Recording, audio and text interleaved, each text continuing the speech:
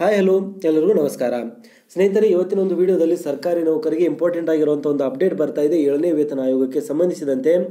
ಕರ್ನಾಟಕ ರಾಜ್ಯ ಸರ್ಕಾರಿ ನೌಕರರು ಮತ್ತು ಬೇರೆ ಬೇರೆ ರಾಜ್ಯ ಸರ್ಕಾರಿ ನೌಕರರ ಏಳನೇ ವೇತನ ಆಯೋಗದ ಇಂಪ್ಲಿಮೆಂಟೇಷನ್ನಲ್ಲಿ ಯಾವ ರೀತಿಯಾದಂಥ ವ್ಯತ್ಯಾಸ ಇದೆ?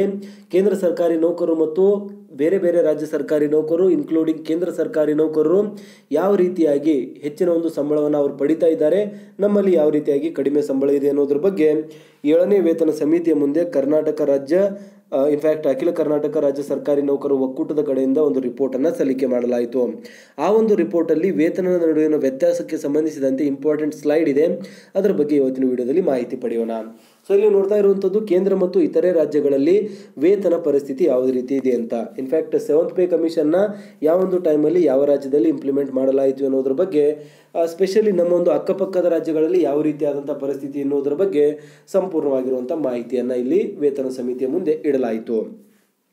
ತೆಲಂಗಾಣದಲ್ಲಿ ಎರಡು ಸಾವಿರದ ಇಪ್ಪತ್ತರಲ್ಲಿ ಏಳನೇ ವೇತನ ಆಯೋಗವನ್ನು ಇಂಪ್ಲಿಮೆಂಟ್ ಮಾಡಲಾಗಿದೆ.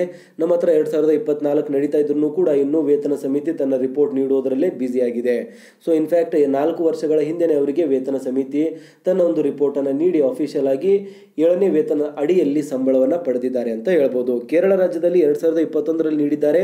ಬಟ್ ಇಲ್ಲಿ ಒಂದು ಟ್ವಿಸ್ಟ್ ಇರುವಂಥದ್ದು ಒಂದೂವರೆ ವರ್ಷ ಪೂರ್ವಾನ್ವಯವಾಗಿ ನೀಡಿರೋದ್ರಿಂದ ಸುಮಾರು ಹದಿನೆಂಟು ತಿಂಗಳ ಸಂಬಳದ ಲಂಸಮ್ ಅಮೌಂಟನ್ನು ಲಕ್ಷ ಲಕ್ಷ ರೂಪಾಯಿ ಅವರ ಒಂದು ಅಕೌಂಟ್ಗೆ ನೇರ ನಗದು ಕ್ಯಾಶ್ ಅನ್ನು ಟ್ರಾನ್ಸ್ಫರ್ ಮಾಡಲಾಗಿದೆ ಅಂತ ಹೇಳಲಾಗ್ತಾ ಇದೆ. ಹಾಗಾದ್ರೆ ಅವರು ಅಫಿಷಿಯಲ್ ಆಗಿ ನೋಡೋದಾದ್ರೆ ಎರಡ್ ಸಾವಿರದ ಹತ್ತೊಂಬತ್ತರಿಂದಲೇ ತನ್ನ ನೌಕರರಿಗೆ ಏಳನೇ ವೇತನ ಆಯೋಗದ ಲಾಭವನ್ನ ನೀಡಿದಂತಾಗುತ್ತೆ.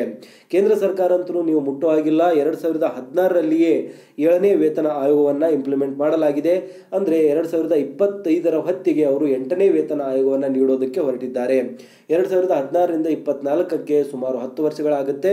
ಹನ್ನೊಂದನೇ ವರ್ಷ ಅಂದ್ರೆ ಎರಡ್ ಸಾವಿರದ ಇಪ್ಪತ್ತೈದು ಸುಮಾರು ಹತ್ತು ವರ್ಷಗಳಿಗೆ ಒಂದು ವೇತನ ಸಮಿತಿಯನ್ನು ನೀಡಬೇಕು ಅಂತ ಕಾನೂನಿನ ಮುಖಾಂತರನೇ ಇರೋದ್ರಿಂದ ಅವರು ಅದನ್ನೇ ಫಾಲೋ ಮಾಡ್ತಾ ಇದ್ದಾರೆ. ಸೊ ಈ ಒಂದು ನಿಟ್ಟಿನಲ್ಲಿ ನೋಡೋದಾದ್ರೆ ಕೊರೋನಾ ಟೈಮ್ ಆದಮೇಲೆ ಎಲ್ಲ ವಸ್ತುಗಳ ಬೆಲೆ ಗಗನಕ್ಕೇರಿರೋದ್ರಿಂದ ಎಲ್ಲ ಸರ್ಕಾರಿ ನೌಕರ ಸಂಬಳವನ್ನು ಕೇಂದ್ರ ಸರ್ಕಾರ ಮತ್ತು ಅಕ್ಕಪಕ್ಕದ ರಾಜ್ಯ ಸರ್ಕಾರಗಳು ಒಂದು ಗಣನೀಯವಾಗಿ ಇನ್ಕ್ರೀಸ್ ಮಾಡಿದರೂ ಕೂಡ ನಮ್ಮ ರಾಜ್ಯದಲ್ಲಿ ಮಾತ್ರ ಯಥಾಸ್ಥಿತಿ ಕಂಪ್ಲೀಟ್ ಆಗಿ ನಡೀತಾ ಇದ್ದು, ಸರ್ಕಾರಿ ನೌಕರ ಸಂಬಳದಲ್ಲಿ ಯಾವುದೇ ರೀತಿಯಾದಂಥ ವೃದ್ಧಿ ಆಗದೆ ಇರೋದು ನಿಜಕ್ಕೂ ವಿಷಾದನೀಯ ಸಂಗತಿ. ಹಾಗಾಗಿ ನಮ್ಮ ರಾಜ್ಯ ಸರ್ಕಾರಿ ನೌಕರು ಮತ್ತು ಬೇರೆ ಬೇರೆ ರಾಜ್ಯ ಸರ್ಕಾರಿ ನೌಕರರಿಗೆ ಕಂಪೇರ್ ಮಾಡಿದಾಗ ತುಂಬಾ ಕಡಿಮೆ ಸಂಬಳವನ್ನು ನಮ್ಮ ರಾಜ್ಯ ಸರ್ಕಾರಿ ನೌಕರು ಪಡಿತಾ ಇದ್ದಾರೆ. In spite of having third largest G D P and second largest tax collection in the state ಅಂತ ನಾವು ಹೇಳ್ತೀವಿ. ಅಂದರೆ ನಮ್ಮ ಒಂದು ರಾಜ್ಯದಲ್ಲಿ ಸೆಕೆಂಡ್ ಲಾರ್ಜೆಸ್ಟ್ ಟ್ಯಾಕ್ಸ್ ಕಲೆಕ್ಷನ್ನ ಮಾಡಲಾಗುತ್ತೆ G S T ಕಲೆಕ್ಷನ್ನ and in terms of G D P ನೀವು ಕಂಪೇರ್ ಮಾಡಿದ್ರೆ this is the third largest state in the whole India ಅಂತ ಹೇಳ್ತೀವಿ. ಇಡೀ ಭಾರತದಲ್ಲಿಯೇ ಅತಿ ಹೆಚ್ಚು ಜಿ ಡಿ ಪಿಗೆ ಕಾಂಟ್ರಿಬ್ಯೂಟ್ ಮಾಡ್ತಾ ಇರುವಂಥದ್ದು, ಅತಿ ದೊಡ್ಡ ಒಂದು ಆರ್ಥಿಕತೆ ಹೊಂದಿರುವಂಥ ರಾಜ್ಯ ಅಂತ ನಮ್ಮ ಕರ್ನಾಟಕ ಹೆಗ್ಗಳಿಕೆಗೆ ಪಾತ್ರವಾಗಿದೆ. ಆದರೂ ಕೂಡ ಈ ಒಂದು ಸುವ್ಯವಸ್ಥಿತವಾಗಿ ಇಷ್ಟು ರಾಜ್ಯವನ್ನು ನಡೆಸ್ತಾ ಇರುವಂತಹ ಕರ್ನಾಟಕ ರಾಜ್ಯ ಸರ್ಕಾರಿ ನೌಕರಿ ಕೈ ಸೇರಿರೋದು ಚೊಂಬು ಮಾತ್ರ.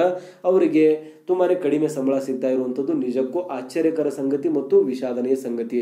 ಇದಕ್ಕೆ ನೇರ ಹೊಣೆಗಾರರು ನಮ್ಮ ಒಂದು ರಾಜ್ಯ ಸರ್ಕಾರಿ ನೌಕರರು ಮತ್ತು ನಮ್ಮ ಒಂದು ರಾಜ್ಯ ಸರ್ಕಾರಿ ನೌಕರರ ಸಂಘದ ಅಧ್ಯಕ್ಷರು ಪದಾಧಿಕಾರಿಗಳಂತಾನೆ ನಮ್ಮ ಒಂದು ನೌಕರರು ಹೇಳ್ತಾರೆ. ಏನಕ್ಕಂದ್ರೆ, ಎಲ್ಲ ಒಂದು ಕಡೆ ನಮ್ಮಲ್ಲಿಯೇ ಒಗ್ಗಟ್ಟಿರಲಿಲ್ಲ, ನಾವೇ ಒಂದು ಪ್ರತಿಭಟನೆಗಳನ್ನು ಮಾಡಲಿಲ್ಲ, ಸರ್ಕಾರದ ಮೇಲೆ ಪ್ರೆಷರ್ ಹಾಕುವಂಥ ಕೆಲಸ ಮಾಡಲಿಲ್ಲ. ಹಾಗಾಗಿ ಬೇರೆ ಬೇರೆ ರಾಜ್ಯಗಳಲ್ಲಿ ಇಂಪ್ಲಿಮೆಂಟ್ ಆಗಿರುವಂಥ ವ್ಯವಸ್ಥೆ ನಾಲ್ಕೈದು ವರ್ಷಗಳಾದರೂ ಕೂಡ ನಮ್ಮ ಹತ್ರ ಇಂಪ್ಲಿಮೆಂಟ್ ಆಗೋದಿಲ್ಲ. ಇದೇ ರೀತಿಯಾಗಿ ಡ್ರ್ಯಾಗ್ ಆಗ್ತಾ ಹೋಗುತ್ತೆ ಅಂತ ಹೇಳಲಾಗುತ್ತೆ. ಸೊ ಒಟ್ಟಾರೆಯಾಗಿ ಸರ್ಕಾರಿ ನೌಕರು ಈಗಾದರೂ ಎಚ್ಚೆತ್ತುಕೊಂಡು ಏಳನೇ ವೇತನ ಆಯೋಗವನ್ನು ಒಳ್ಳೆಯ ಒಂದು ಫಿಟ್ಮೆಂಟ್ ನಲವತ್ತು ನಲವತ್ತೈದು ಪರ್ಸೆಂಟ್ ಮತ್ತು ಅದನ್ನು ಸುಮಾರು ಎರಡು ವರ್ಷಗಳ ಪೂರ್ವಾನ್ವಯವಾಗಿ ಜಾರಿ ಮಾಡಿಸುವ ಮುಖಾಂತರ ನಮಗೆ ಆಗಿರುವಂಥ ಲಾಭ, ನಷ್ಟ ಏನಿದೆ ಅದಕ್ಕೆ ಒಂದು ಕಾಂಪೆನ್ಸೇಷನ್ನ ಪಡಿಬೇಕು ಅಂತ ಇಲ್ಲಿ ನಾವು ಹೇಳೋಕ್ಕೆ ಇಷ್ಟಪಡ್ತಾ ಇದ್ದೀವಿ. ಆ್ಯಂಡ್ ಇನ್ಫ್ಯಾಕ್ಟ್ ಎಲ್ಲ ಸರ್ಕಾರಿ ನೌಕರರ ಇಚ್ಛೆ ಕೂಡ ಇದೇ ಆಗಿದೆ. ಸೊ ದಯವಿಟ್ಟು ಈ ಒಂದು ಮಾಹಿತಿಯನ್ನು ಎಲ್ಲರ ಜೊತೆ ಶೇರ್ ಮಾಡಿ. ಇದ್ರ ಬಗ್ಗೆ ನಿಮಗೆ ಅನಿಸುತ್ತೆ ದಯವಿಟ್ಟು ಕಮೆಂಟಲ್ಲಿ ತಿಳಿಸಿ.